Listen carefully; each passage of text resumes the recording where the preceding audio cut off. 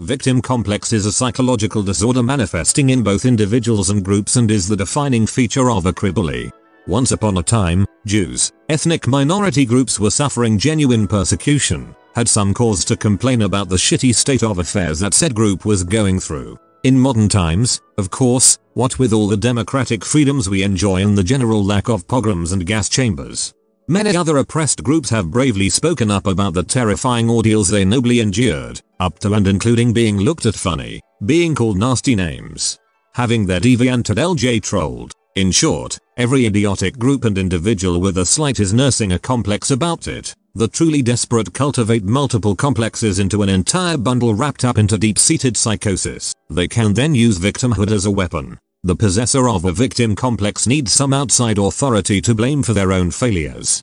They can never compensate for their personal challenges in order to do the basic competition necessary to be even minimally successful at life.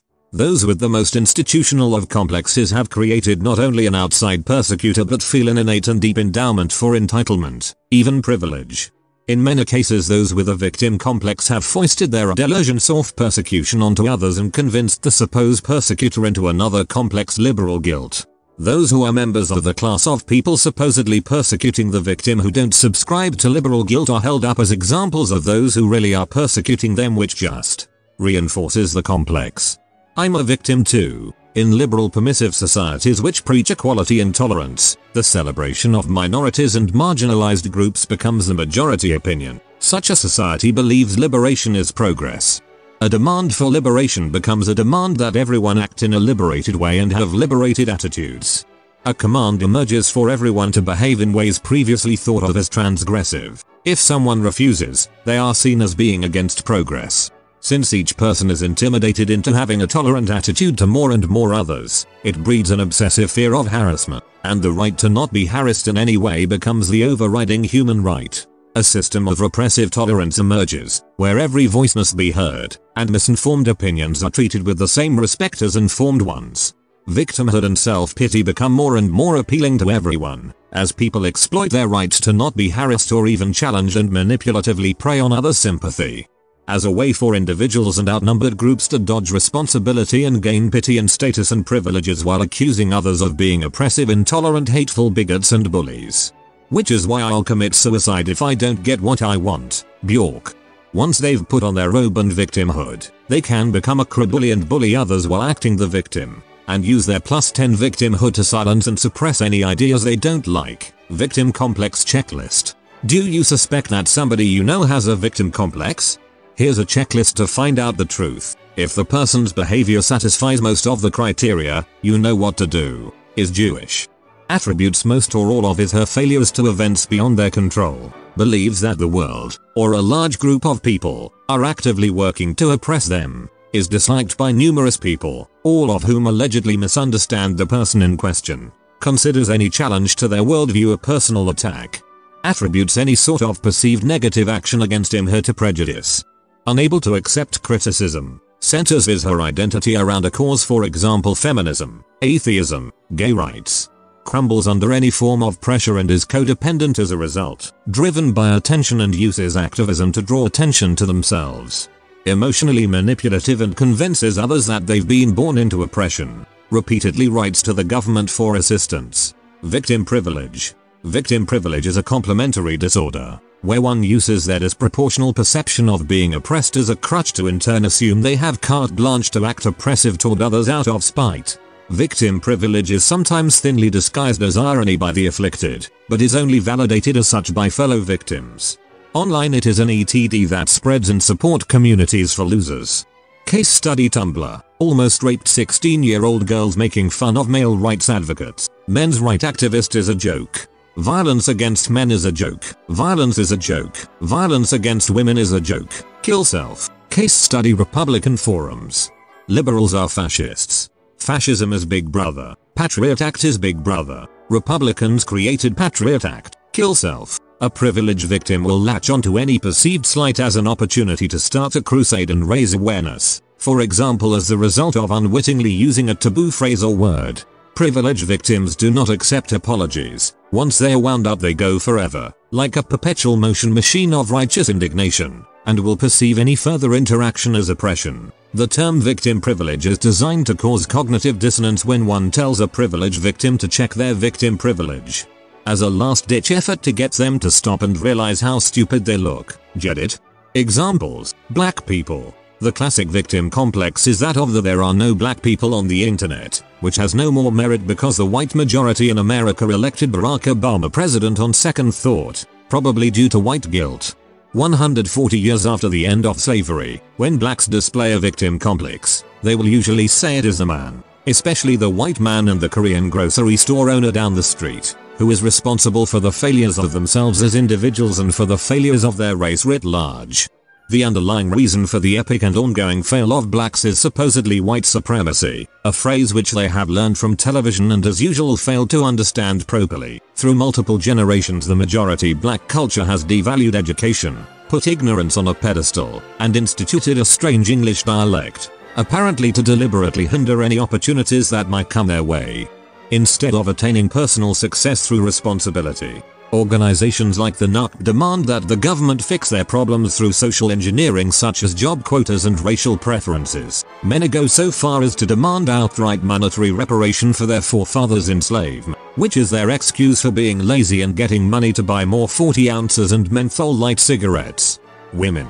Women, particularly feminists, have their own complex as well. Women, to lesser extent, have the same demands as blacks and the same persecutor in the man. A few women claim to have internalized a further victim complex as a result of real personal tragedies such as rape, childhood sexual abuse, or domestic violence some of them aren't lying. Many, many more women, especially lesbians and more militant feminists, have taken on a delusional persecution complex, not because they have been real victims of trauma, but because they could be raped, could have been abused, and might be beaten, all by men, of course, because women never hurt each other, ever.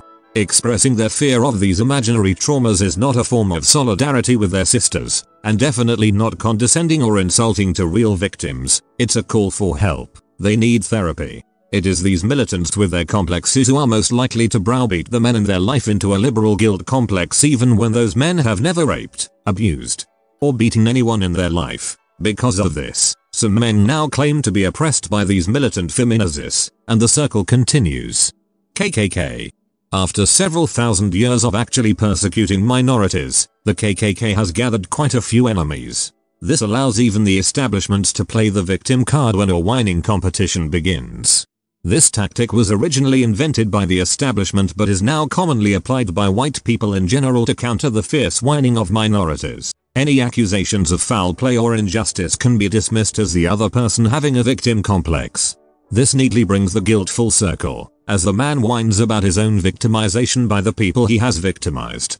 Examples of so-called victimization of the man include civil rights advances gained by minorities. If only minorities could be like white people and pull themselves up by enslaving and exploiting fags for economic gain. Christians, after nearly 2000 years of cultural and political dominion in the Western world, Christians are now the victim of oppression. The forces of oppression against Christianity are atheism, Islam, homosexuals, erotica, proponents of reproductive choice and proponents of scientific fact. According to Christians, any social or political theory or action that does not support Christian dogma is oppressive and intended to disenfranchise Christians of their social, legal and political standing. Nonetheless, Christians are still a dominant force in the West, with over 70% of all Americans claiming to be Christian, and many Christian zealots in political, financial and social positions of power. It remains a mystery how the majority can be oppressed. This is only further proof that anyone can play the victim card. Atheists. Of course, since Christianity has been basically emasculated by the establishment and liberal guilt, we should all have entered a golden age of humanism, free thought and enlightenment. The reason we haven't is not because most people who aren't religious don't give enough of a crap to make a religion out of unreligion or jerk off to photos of fossilized dinosaurs while listening to Rush. It's because theists are oppressing the hidden atheist majority. That's right, to the average non-believer. Prayer in parliament, in God we trust written on currency. Christians stating their beliefs on hot button issues or Muslims ruling through Islamic law in their own countries is mildly annoying and harmless, but to real atheists, it's yet another example of social oppression, just leak witch burning and crusades. Their cause would be a lot more effective if they realized that playing the victim card and the smug card simultaneously is not the equivalent of a royal flush. Furries. Fur is perhaps one of the most visible, irritating groups on the internet exhibiting the characteristics of the victim complex. Whenever a dissenting opinion is stated, or someone disagrees with that particular form of perversion, cries of persecution can be heard across the tubes. Frequently they'll compare themselves to Jews, since they are apparently being rounded up and gassed in several camps in Germany at this very moment. Goons frequently take the initiative and fill their need for aggressors, even though no one takes it seriously aside from the furries themselves. Nice guys. Nice guys are bitter virgin nerds who believe that they are the only truly nice and caring guys in the world, and because of that, women should fuck them. The idea that because you are nice to someone means you are entitled to sex is a very definition of lunacy, but just try talking some sense into one of these morons. They seriously have their heads so far up their asses that they think that anyone finding success with women is an asshole and that women are only attracted to assholes. They place all the blame for their failed attempts at a relationship solely on the female gender, backing it up with every bible known as the ladder theory. I mean, they are nice. Which surely makes them blameless for their own actions. The irony is most of these fags are bitter misanthropes who would rarely be considered nice by anyone. They most likely have built up a delusion that they are automatically nice because they are nerds, and nerds are always nice in movies. Victim complex on steroids. Wiccans. Wiccans can claim victim status because their ancient religious tradition was eradicated by the Christians at least 100 years ago. Although the Wiccan tradition didn't exist before the middle of the 20th century. Furthermore, they believe that their religious beliefs are not respected by the mainstream population, and as we all know, ridicule is the same as oppression. Examples of Wiccan oppression include the restriction of the Wiccan Bible in public libraries, the failure of public schools to teach the principles of magic and science classes, and the inevitable flaming and trolling of self-identified Wiccans on public forums. Scientologists. Scientologists aka Syphigs, Scilons, clams, etc. are a group apart from all others. If imaginary victimhood was a race, Scientology would be Usain Bolt. Worse than any other religion, major or minor, they will cry religious persecution at the slightest perception of opposition to their dubious and clandestine cult-like practices and efforts to silence those who oppose them. The church has consistently attempted to justify their highly litigious nature and reputation for abusing the legal system as being merely an attempt to defend our religious rights. A veritable blank check for them to attack anyone and everyone who seeks to question their actions. The term SP, suppressive person, an official term the Co has used to label those who have criticized their practices or belief system for some time, is in and of itself perhaps the most ideal example of many Scientologists' deep-rooted victim complex. Any who are seen as having valid criticisms of the church's suspicious agenda or who oppose the church's insatiable thirst for wealth and power are naturally so labeled. Of course, the more they fight critics with vexatious lawsuits, the worse their church appears, and the more attackers it finds. More than ever, notable celebrities and heads of the co-administration have attempted to champion themselves as untouchable martyrs in the public eye all the while attempting to control as many people as possible, through their surreptitious machinations. You, you're screwed 16 ways from Sunday. Incorporation of a victim complex into your personality and attitude is probably your best bet. Much in the way that a camper's best bet against a charging bear is to roll into a ball and piss themselves. Society is not as well known for its compassion and mercy as your common North American brown bear, but it's worth a try. And who are you kidding? Are you really going to do anything to improve your situation that doesn't involve a hot jar of peanut butter and some hard-earned goats? Face it your friends don't really like you. Your house is just a convenient stop for peanut butter sandwiches on the way to Jimmy's house from school. Your teachers would rather give you an F than get you out of their hair because they have a unique tolerance reserved for only those who they want to screw over as much as you. And God would love to throw you a bone to save you from continued ass rape by the chance system he devised, but that would be cheating and he doesn't really like you all that much. In conclusion, you are an asshole. Victim drama. It doesn't take an ethnic or gender identity to gain a group identity complex. Many disease whores seek out and self-diagnose with popular illness in order to integrate with a larger group for the purpose of commiseration about how the outside world persecutes them and prevents them from succeeding. The reality is that any personal challenge, failure, or even situation that can be internalized into a complex will be, if that complex can be turned back onto some other party to form liberal guilt all the better. Non sequitur statements that identify such complexes abound, such as I can't go to college because my husband is serving in Iraq. I find this whole "woe is me" thing fucking pathetic. Like, I, I, I don't, I don't think there's anything lower than getting on like that. Um, I hate this whole like it's it's so disgusting in my eyes. I, I find it really repulsive because I whenever I look at this like oh woe is me. Um I've I've been I like I look at all my problems that have been forced on me. Suck my fucking dick. Take some fucking responsibility and sort yourself out would you? Like you know there's nothing more ugly than seeing like you know a fully grown adult get on like a child. It's fu- it's fucking vile. And I, I thought I thought this video I thought was like you know this article was really good. And I thought you know more people need to see it. Because I thought it puts it into words better. This whole victim culture that's going on at the minute, and it's fucking disgusting. I really don't like it at all. And oh, it's one of those ones that just fire, fires up the temper, you know? Just the thought of it, just like, ugh, ugh.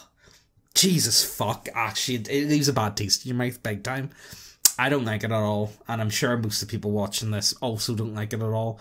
So, like, you know, can we just like, don't fall for their tricks. They've been using the same tricks, but this has been going on like excessively, really badly for what, like five, maybe six years now. Like, come on, we we all know that we all know what's going on. We all get it. So, like, um, I don't know. Hopefully, this helped uh, put it into words um, what a lot of people already think. So, like, um, hope you guys enjoyed, and I'll see you in the next video. If you haven't already, check out my Redbubble portfolio. You might just find something you like.